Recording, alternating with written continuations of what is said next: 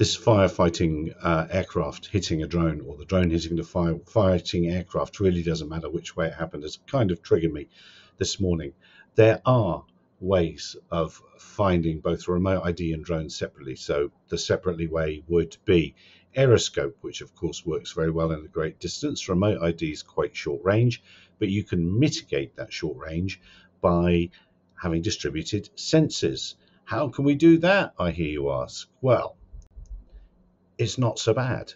You can use TAK, Tactical Awareness Kit, to funnel your, your signals, as it were, to funnel your tracks into one place, and that can then be broadcast out to users that have it. I'm a big fan of TAK. If you don't know what TAK is, you need to find out if you're in the drone world. Lots and lots of use cases in the drone world. Search and rescue is my use case.